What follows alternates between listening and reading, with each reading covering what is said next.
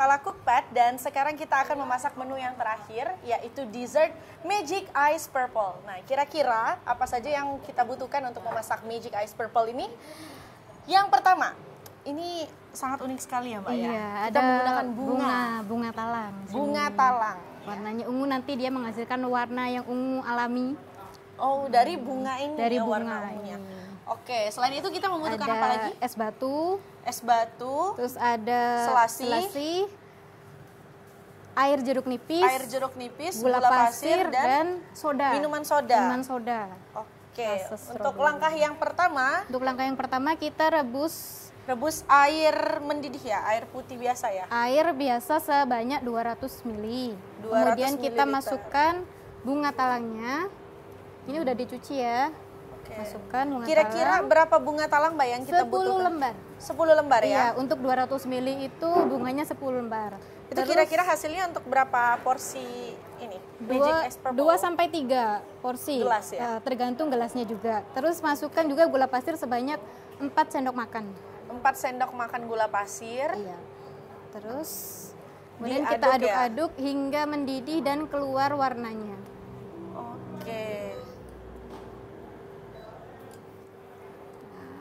Keluar warnanya. Direbus ya Mbak ya. Iya, direbus hingga mendidih dia. Sambil diaduk-aduk pemirsa sampai eh, air rebusan ini mengeluarkan warna ungu. Iya. Ini selain memberikan warna cantik di bunga, Hmm. bunga talang ini juga bermanfaatnya banyak sekali ya. Manfaatnya sangat banyak. Dia antioksidan, terus bisa baik untuk kesehatan jantung, Ya. untuk mengurangi kadar gula. Nah, jadi mungkin untuk eh, orang-orang yang kadar gulanya sedang tinggi, nah itu bagus mengkonsumsi Eh, bunga, telang. ini. Ya. Bisa dijadikan teh juga untuk Dengan hidangan diseduh ini. seperti ya, ini saja diseduh ya? biasa saja juga bisa. Ini sepertinya warnanya sudah mulai Ya, keluar ya. warnanya sudah mulai keluar Wah, warnanya cantik. cantik sekali pemirsa. Nah. Eh, sebelum dia warna ungu, dia ada warna sedikit biru-biru ya, lavender Betul, lavender. betul. Karena selain untuk minuman ini juga bisa untuk kue ya. Mungkin kalau yang alergi sama pewarna Makanan ya. pewarna makanan gitu yang buatan bisa pakai pewarna alami dari bunga telang ini.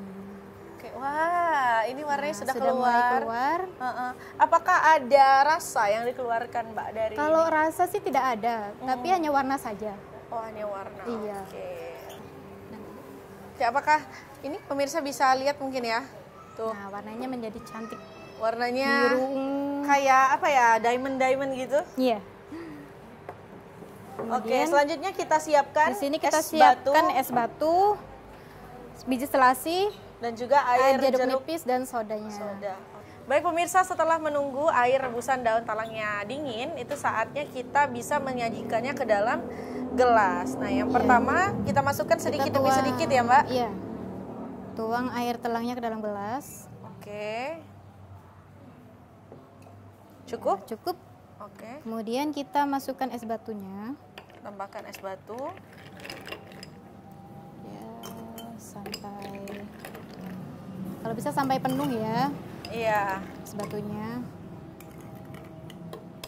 Tambahkan satu lagi. Satu lagi.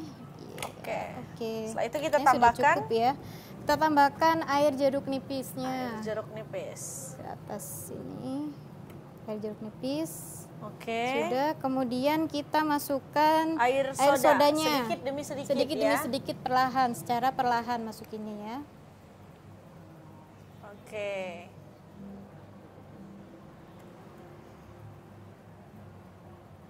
Yaps. Oke. Nah, sudah. Kemudian kita tambahkan biji selasi yang sudah direndam tadi.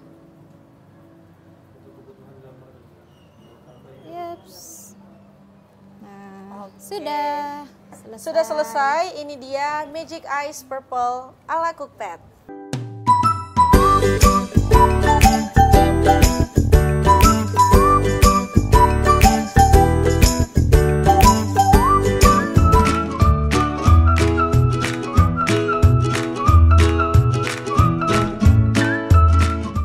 Pemirsa, ini dia saat yang kita tunggu-tunggu. Kita akan mencoba ketiga menu yang telah kita masak pada hari ini. Nah, kita mulai dari Magic Ice Purple.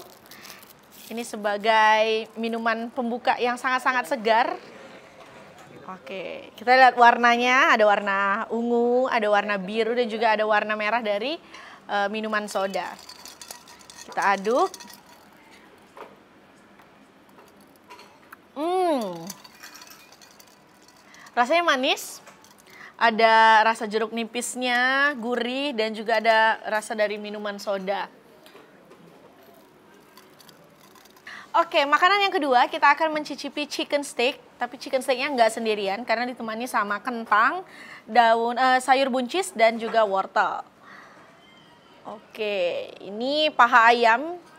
Kita menggunakan paha ayam karena memang dagingnya lebih juicy dan juga lebih cepat matang. Hmm. Rasa barbeque-nya meresap sampai ke daging karena sudah dimarinasi.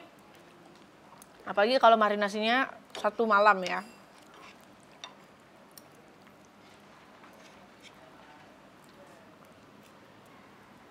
Hmm.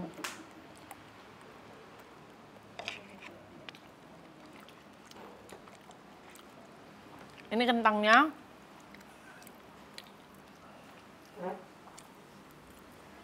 Hmm, sangat-sangat lezat sekali pemirsa.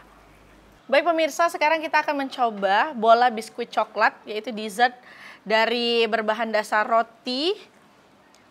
Oke, ini kita coba terlebih dahulu.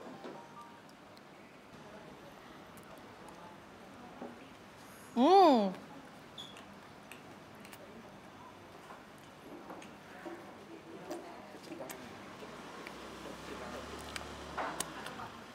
Hmm. Rasanya manis sekali pemirsa.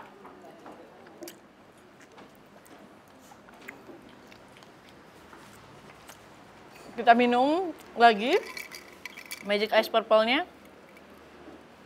Hmm.